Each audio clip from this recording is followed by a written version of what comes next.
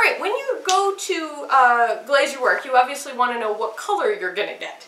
So we have a whole bunch of test tiles, uh, little bowls all around the studio, or all around the shelves, and they start out at least lined up with the pieces that they are for. This one is says on the side Woodman Clark Celadon.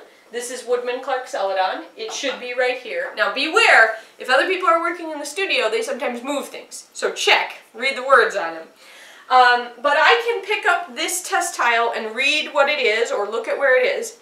And I know that Woodman Clark Celadon is going to look like that. Now, a couple of our glazes have more than one test tile next to them. This is Pfaffy's Copper Red, and so is this. And so one of the things you need to understand about how glazes work is that the atmosphere of the firing is important. All of these are cone 10 glazes. they melt at cone 10, which is about 2350, 2300 degrees or so. And, uh, and but, uh, sorry, and, and, all of them melt at that temperature, at that cone 10. They don't melt at a lower temperature, they don't melt at bisque, but they do melt at cone 10. But we can fire two different atmospheres. This is a reduction atmosphere, and in a reduction atmosphere we reduce the amount of air available in the kiln. In an oxidation atmosphere we give the kiln plenty of air.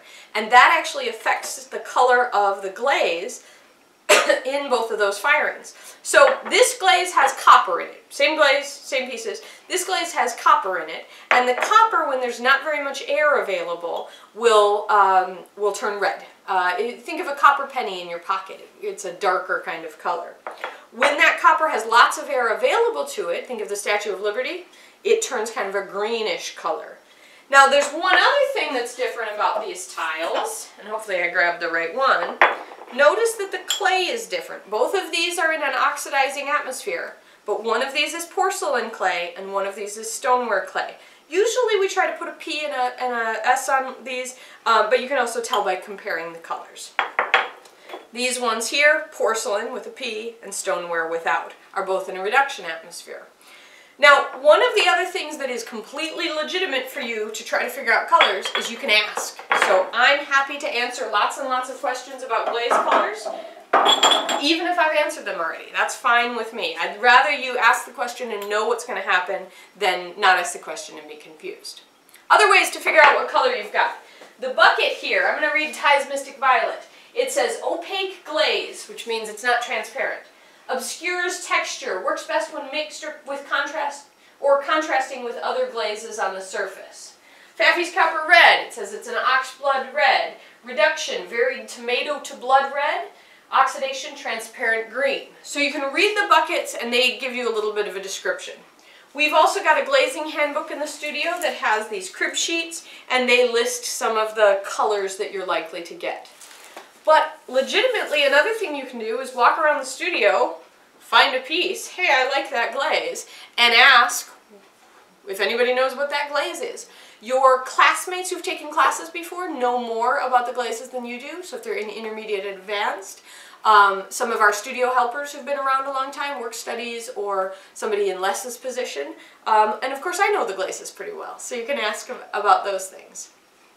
So once you've figured out what oh, uh, one more thing. If you can look inside this bucket, um, you can see the color of the glaze, um, and it looks kind of gray. Now this says it's going to be a violet matte, and my test tile shows that it's going to look like this. So don't trust the color that you see in the bucket. The glazes are going to change color, so that the color they look when they're unfired isn't a good, uh, a good indication of what it's going to look like.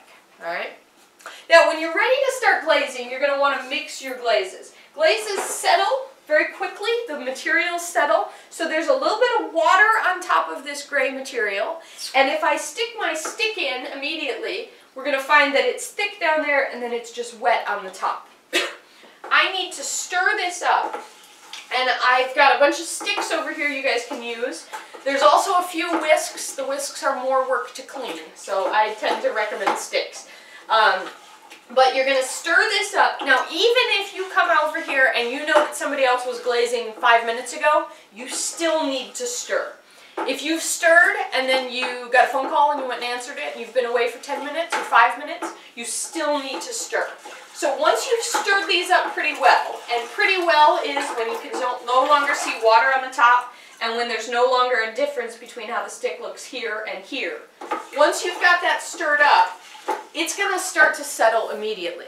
So you stir it up well the first time, but then each time you come back to it, you leave the stick in and you do a little bit more stirring. So when you go to glaze, it's a lot of work. It's, uh, it's a, a pain to get these glazes ready. So I often recommend you glaze with other people. If you come back here and somebody else has already started stirring the glazes, and you glaze for a while with them, at the end you say, hey, are you done with the Ty's Mystic Violet? Because I'm, I'm done. And if they say, yes, I'm done, you say, I would offer to wash the sticks for you. Uh, setup and cleanup is a lot of work, so be nice to your classmates. Don't come in and take advantage of all the work they've done. You offer to help, if you do take advantage, offer to help them clean up, because cleanup's a lot of mess, a, a lot of fun, you know, a lot of work as well. So we're going to mix up these glazes. Um, we know what they look like because we've looked at the tiles. And in the next video, I'll show you how to prepare the pieces for glazing.